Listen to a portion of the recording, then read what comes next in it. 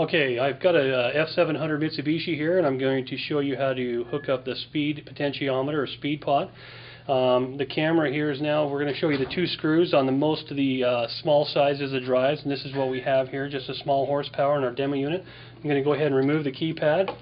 I'm going to, these two screws are already loosened. We're going to go ahead and open the cover going to the left here and then I'm going to ahead and lift the flap and hopefully right there we got a good shot of the um, markings.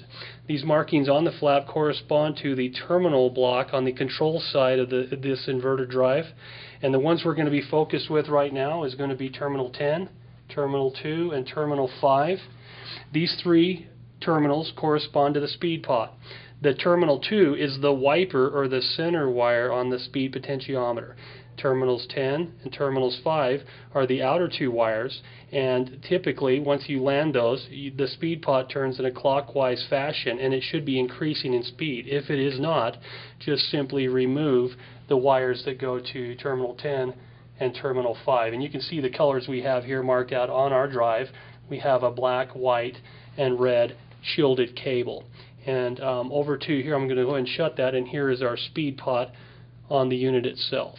Now one thing to keep in mind is also with this setup you will need to add a jumper or a switch to start stop the drive using terminals STF and SD.